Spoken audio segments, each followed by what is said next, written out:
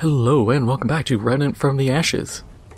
Between episodes, I did a little bit more leveling. I got Armor Piercer up, worked a little bit on Trigger Happy and Wisdom, got Guardian's Blessing, but not much has changed in that regard.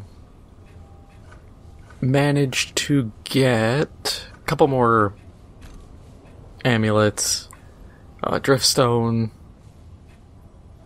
then polished whetstone, which, as you can see, gives bonus crit chance and crit damage against bleeding enemies, and then the razor wire necklace, which increases damage dealt to bleeding enemies. Tragic, you can only have one of these because both are pretty solid. Guess it depends if you're running like a full crit build, then you probably just run that.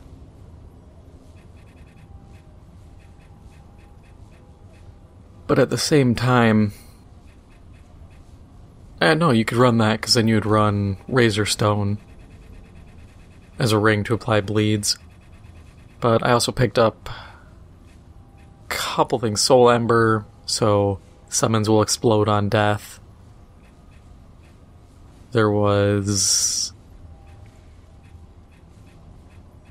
Prismatic Diamond Ring, so elemental damage up by 10%.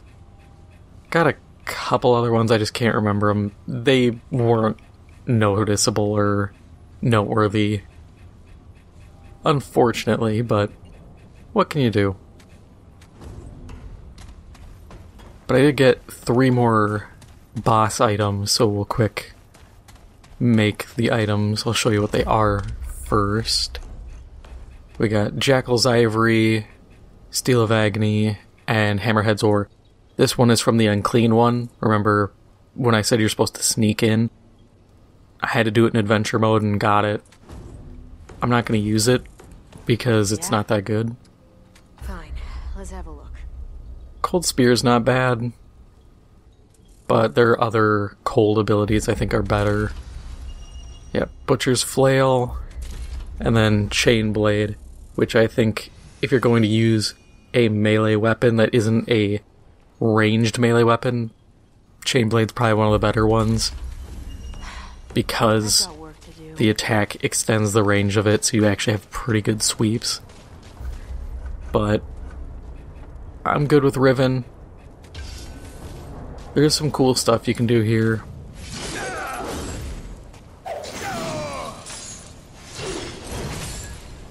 Hang on, does that innately deal. Okay, it doesn't. I thought for a second it innately did cold damage or frost because I was like, that looks like the effect.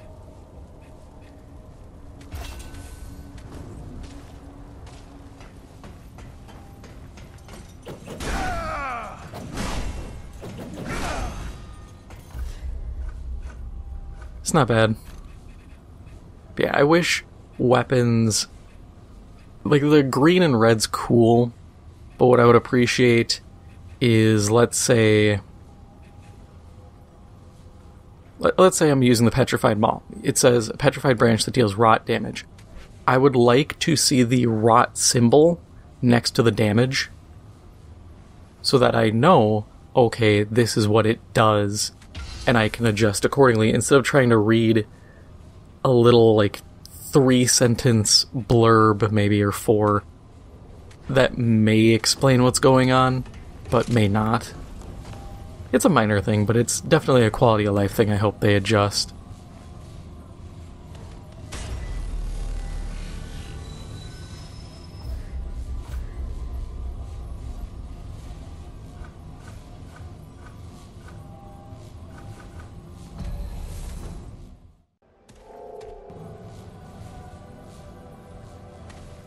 We're getting awfully close to the end of the game, honestly, because we have. We just have to wrap up Yaesha, which will be go through here, maybe another area, dungeon or two, and then we do the final boss fight, and then we have subject to number, number, number. I can't remember what it is, but that DLC, and then it's done. Everything else is just adventure, like Swamps of Corsus just added adventure mode stuff.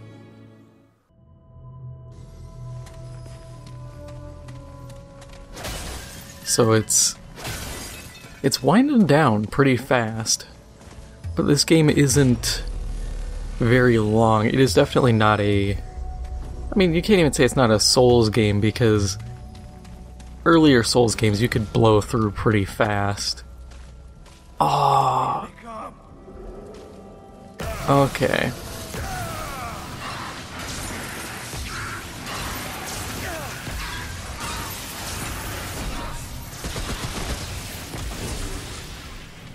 Yep, I thought this was the place. We have to kind of sprint through to trigger some boss fights.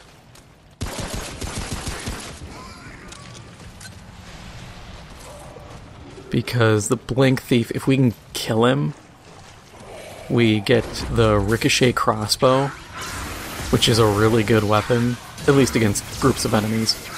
Solo enemies, it's kind of crap, but it has its situational uses.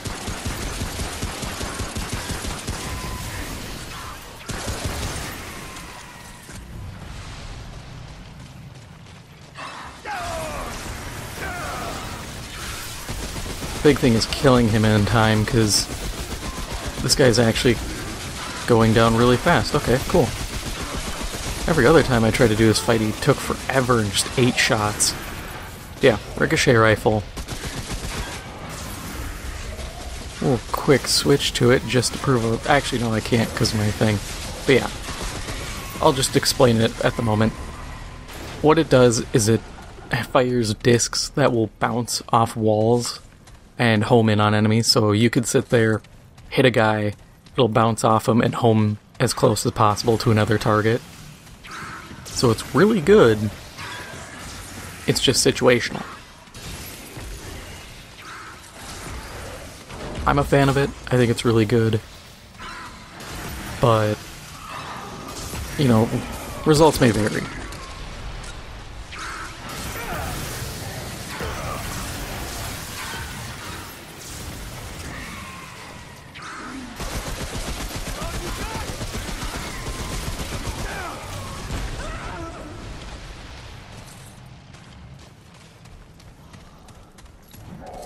I will admit it wouldn't benefit a ton from my fire rate boost skills that I've been pouring in, simply because it's a single shot weapon. How was I overcharged?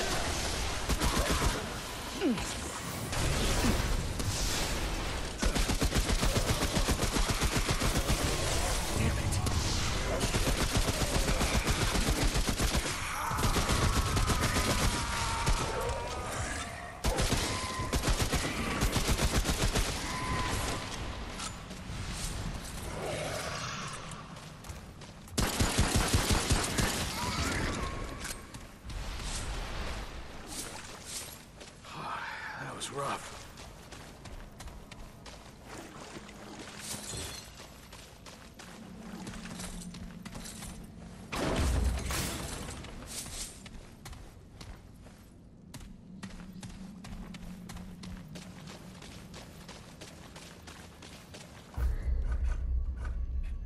Now we'll do a quick switch out just to use the ricochet rifle for a second.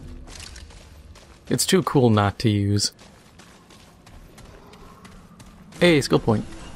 Always like to see that.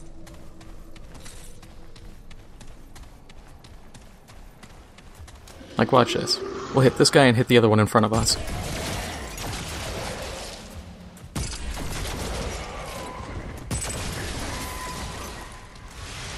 Or we'll hit the floor and hit that guy.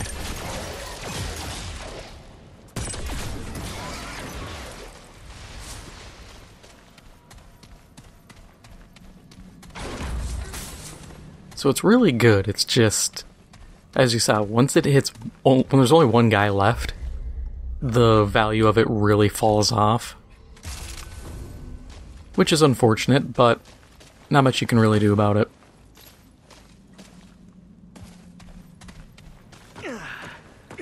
Please. I, I just want to go up the stairs.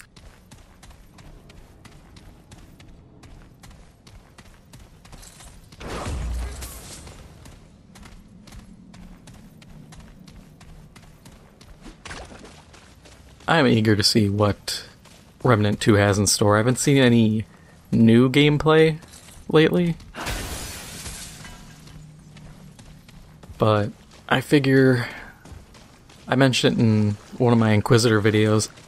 We're getting close to having it uh, having Summer Games Fest come up. Not not this month. It'll be beginning of June, but hopefully we hear something by then.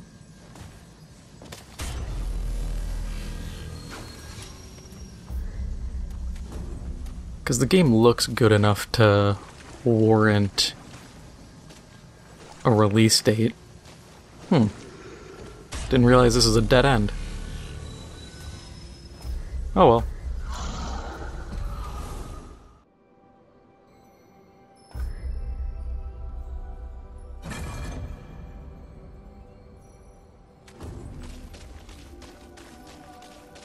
Now this has me thinking, because there's only a few paths you can take. And we have to reach the prison Ford is kept in. And it can't be this way, because this way I think leads back to the, uh, the ambush.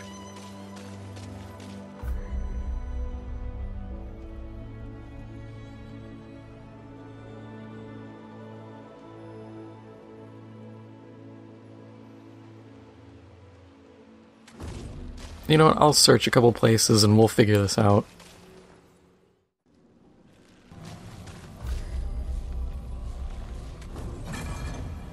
Okay, so finally figured out. We had to go to the bottom of the map, go through the Shrine of Immortals, the ambush site, and it spit us out here.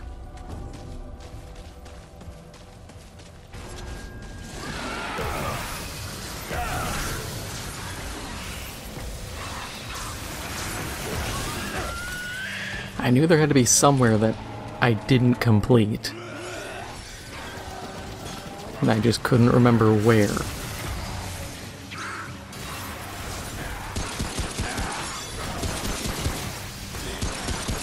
Luckily, it didn't take me too long to run through. I knew there's only so many dungeons.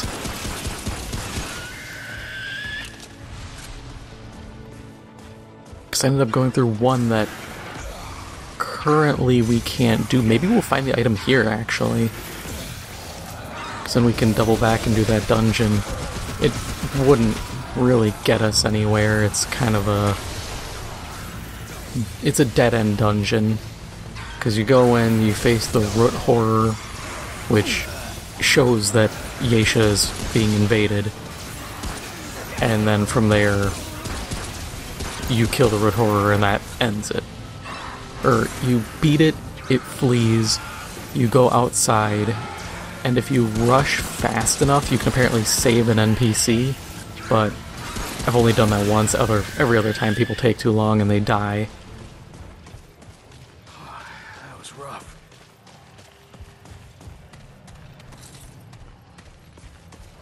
It's an interesting way of kind of showing that Yaesha isn't immune to whatever's happening.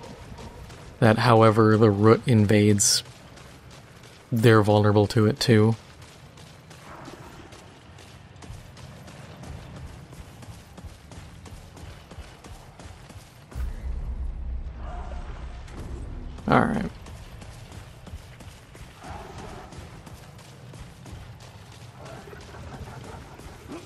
Just trying to figure out what direction everything is.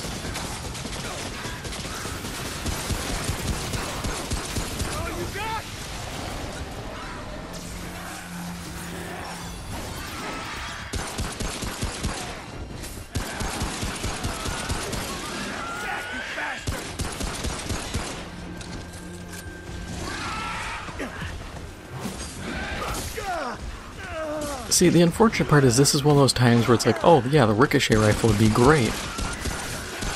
But then it loses the value right after the fight.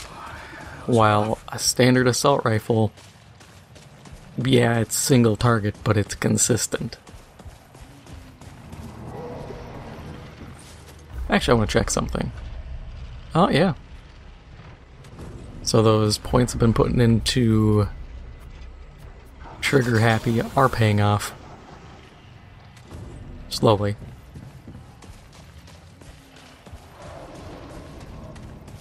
It's actually more for me to start using like the beam rifle potentially. Because I was contemplating it, but the four shots a second I think is really weak. But my big thing is it deals more damage. I'm trying to figure out where I can squeeze the most damage out.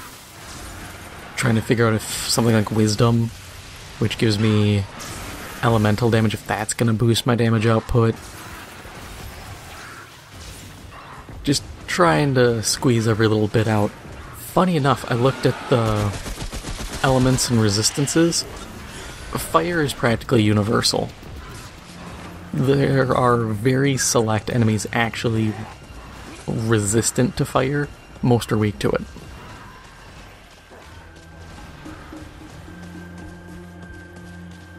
Root Rot, that is an extreme gamble.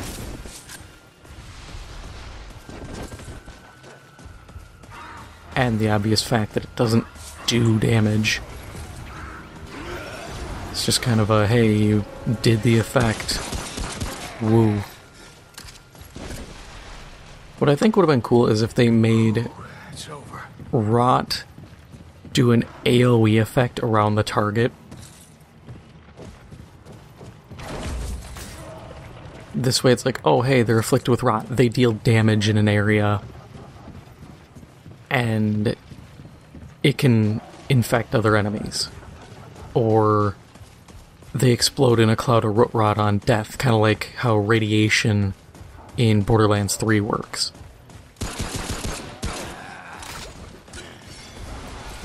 Because at least that way you feel incentivized to use the ability and to use the damage, as opposed to currently where it's like, yeah, it does a thing.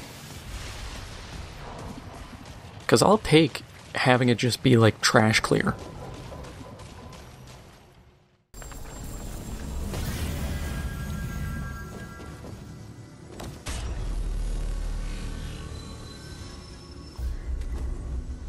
Heretic's Nest.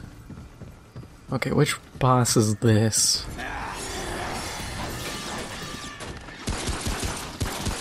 Because it's clearly not Sear and Scald.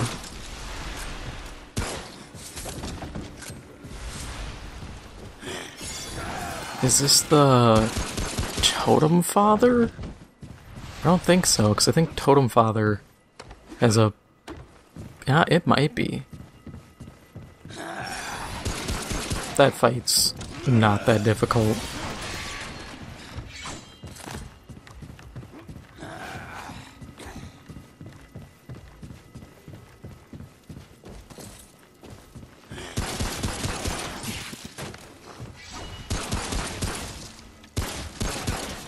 One thing I like too is when I say something isn't difficult, it really isn't. As long as you do the basic, oh, max out your health stat, max out basic stats. You don't need. You really don't need all the crap I put in. I just. Because I keep leveling, I'm just like, yeah, just toss it in this trait, why not? But basic stuff, oh yeah, have health, maybe do stamina if you really feel inclined. Mod power generation. You could do range damage reduction. Elemental resist is key. Everything else is kind of just like, yeah, if you can afford it, toss it on.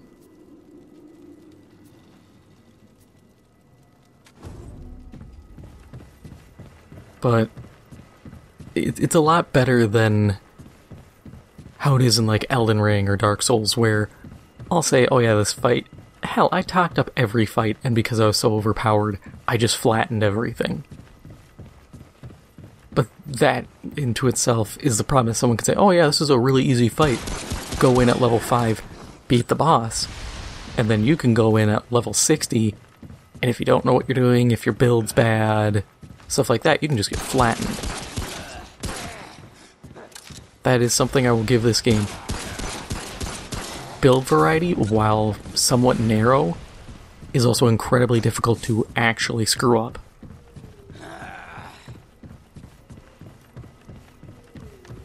Like, the only way you're gonna have a lot of problems fighting bosses is if for some reason you decided, I'm not going to upgrade anything. And if you're wearing, like, the most unfitting rings possible. Like, you're a ranged or a summon build, and you're wearing the ones that give you, like, extra damage against bleeding enemies, but you don't have anything that causes bleed. Or weird combos like that that shouldn't make sense in the first place.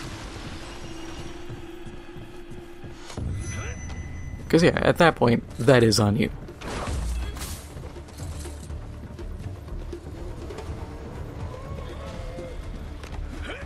Guess the only other thing would be if you did a build and you didn't understand how some of it worked, like how how your armor works or what armor you should pick. I don't know where that caster is, but I oh there he is. I said, but I don't really care to find him.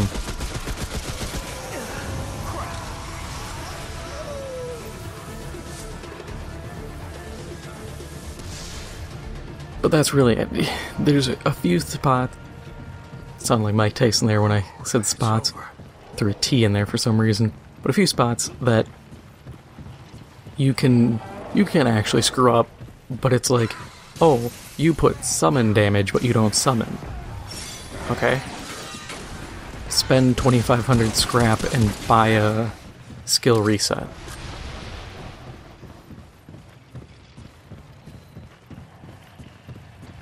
I did that already once because I didn't like that I put skill points into the wrong thing. And instead of just being like, oh yeah, it's a lost like three points, I was like, nah, I'll just respec and put those where they need to be.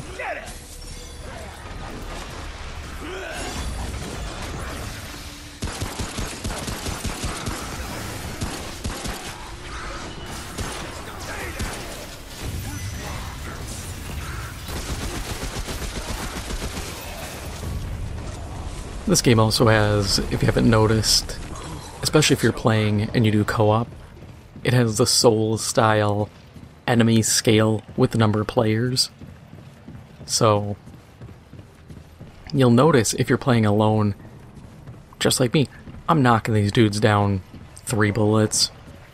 I don't have to dump a mag into really anything.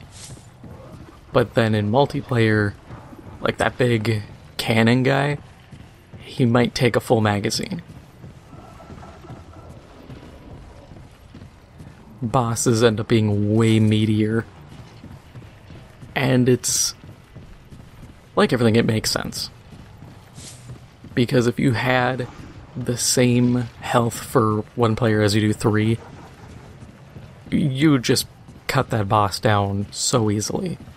You would have to add so many different modifiers and effects to make them more difficult that's easier just to be like, nah, give them 50% health boost per player or something.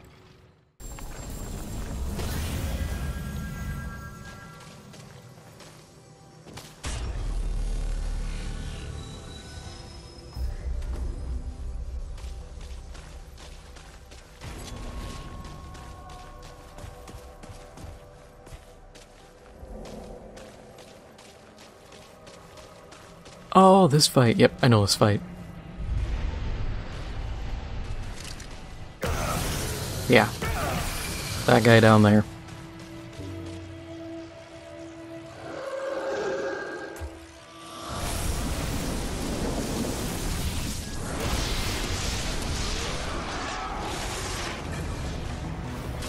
He's really not that difficult.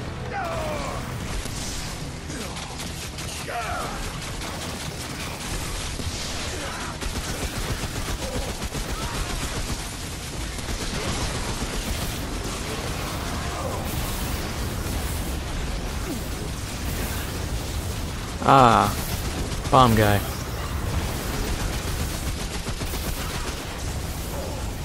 Yeah, when when your ads are more dangerous than your boss, there's a problem.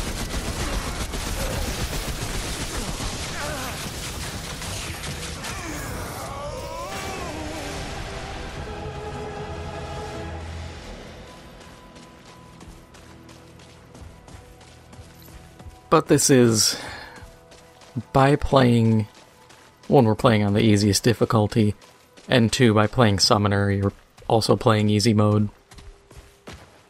But there's no incentive to play harder difficulties i mentioned it before. It's it's just not worth it.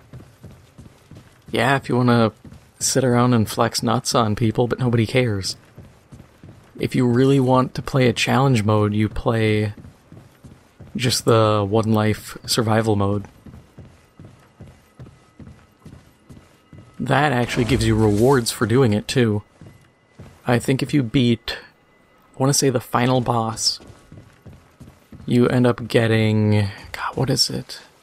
I think it's a amulet that gives you 6% lifesteal on all ranged and melee attacks.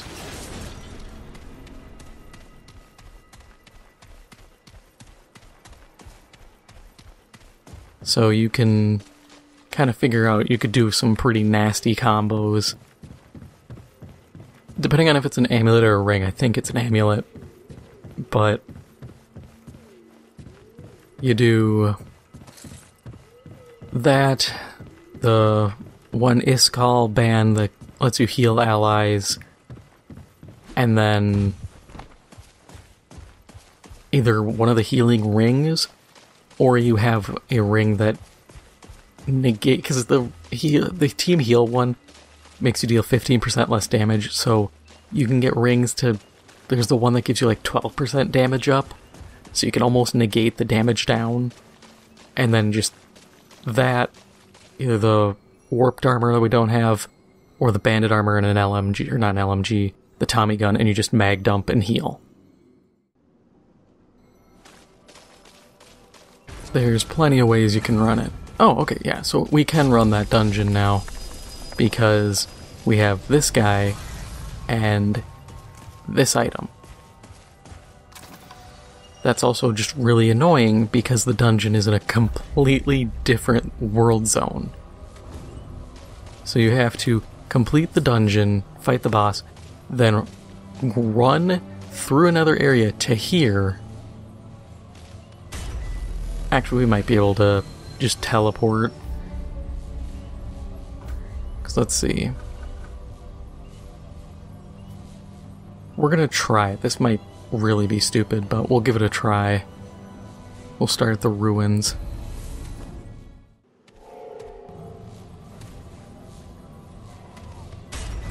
Let's see, can does it let us go back to Stuck Ruins? Or Stuck Merchant?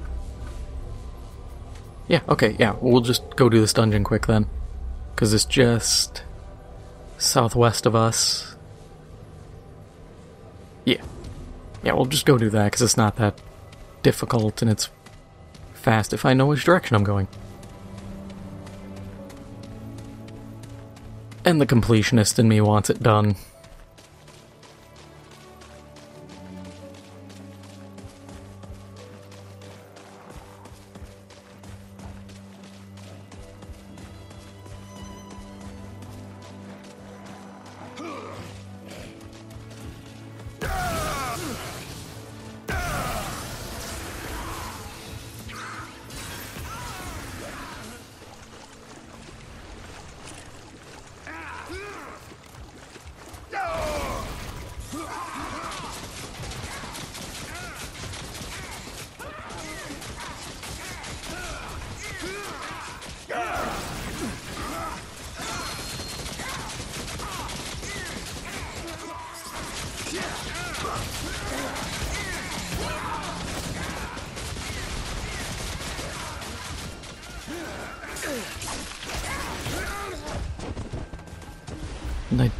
Really care about the scrap because I'm at 173,000.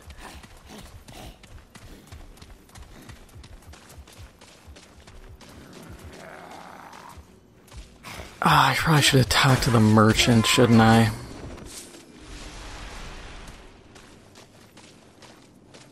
Alright, you know what? We'll. Since we keep having a ping pong, we'll come back to here. I'm gonna talk to him quick and then. We'll, through the power of editing, end up back in the dungeon.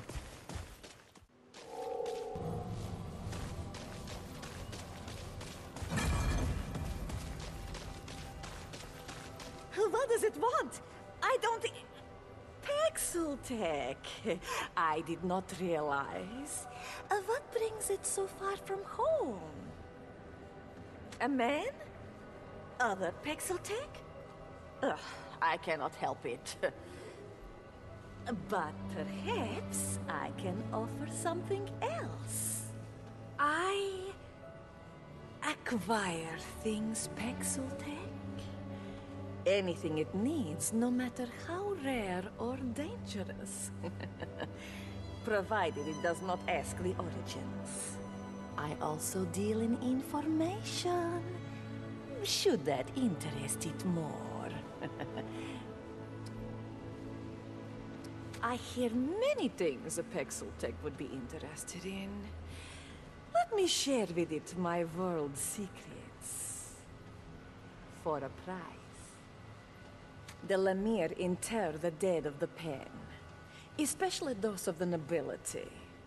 But they work in secret, experimenting on those who had once eaten the fruit of life.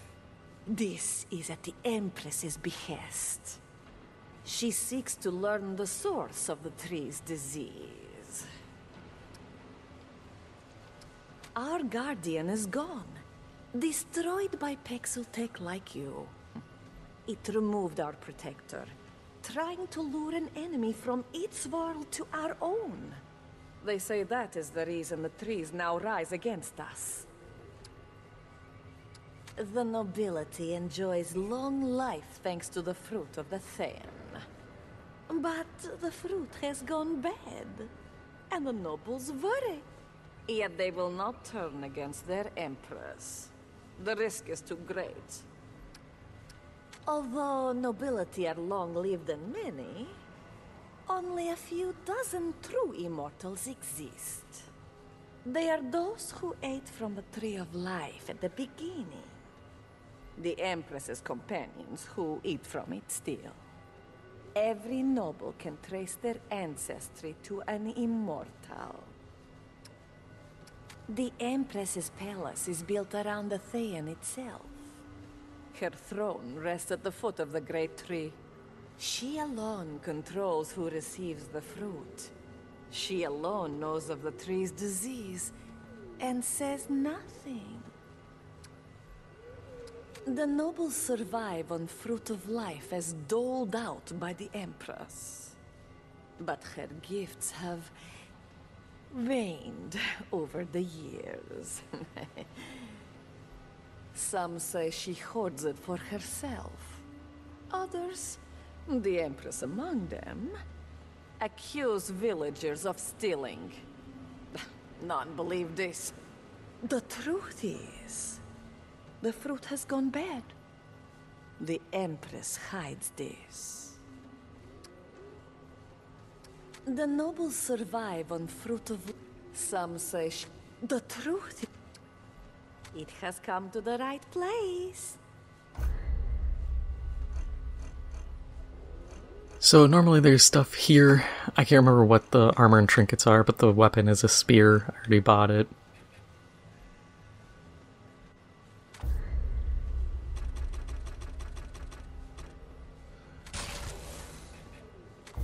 We'll buy a few of those, why not?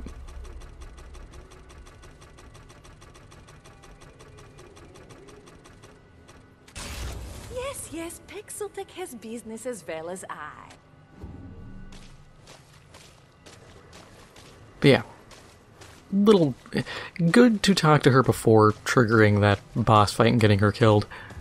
But also interesting that. Because Paxeltech isn't human, it's essentially outsider, to my knowledge. So another outsider got their guardian killed. It- the thing is, they don't give a time frame because it almost sounds like the their guardian died and then the root came in and the tree started going bad for the fruit of immortality which makes me think that it's actually just the root killing the tree or possessing it but now we can go back to that dungeon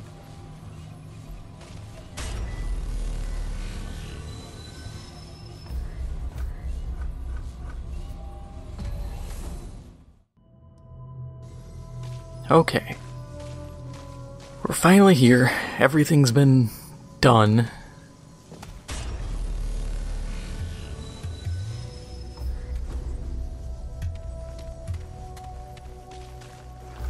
Let's see, trait points.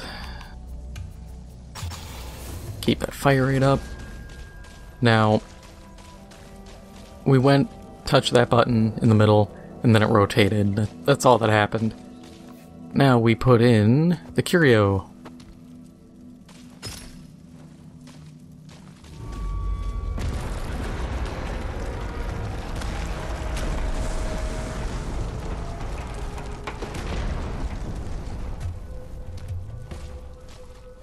And there is your evidence of the root taking over.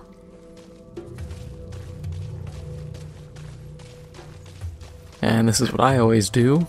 And if you have the turret, you should do the same.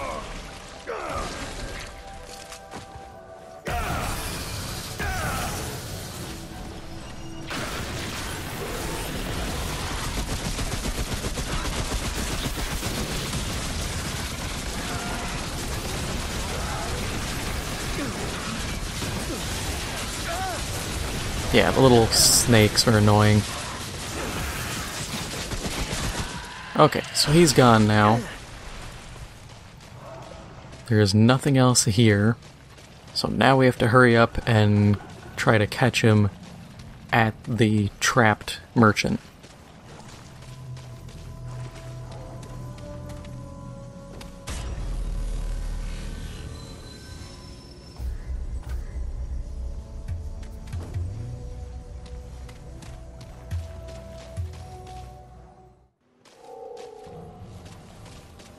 And we couldn't save the merchant.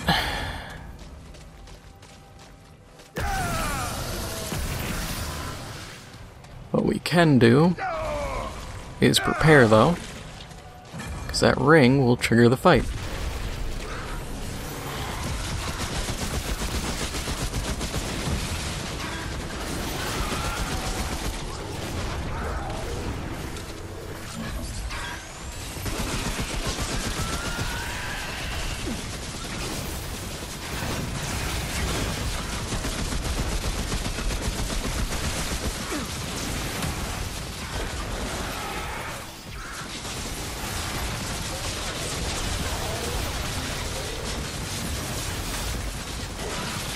Try to keep the serpent away from the turrets so that they last as long as possible.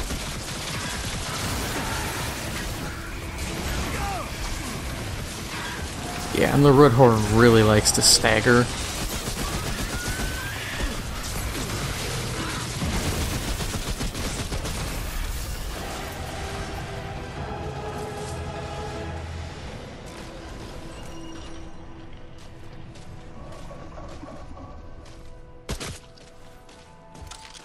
Yeah. I think having to go through the load zones kind of screwed this run up, but it's whatever. I, I don't even think you get anything worthwhile from that. From beating the boss, you get Guardian's Blessing. Which I Should probably look at it for you for a second. Melee damage reduction, so you can get up to 10%. Which isn't bad. But I'm going to call it here. If you enjoyed this episode, make sure to hit the like button, it helps out the channel a lot. And if you haven't already, make sure to hit the subscribe button.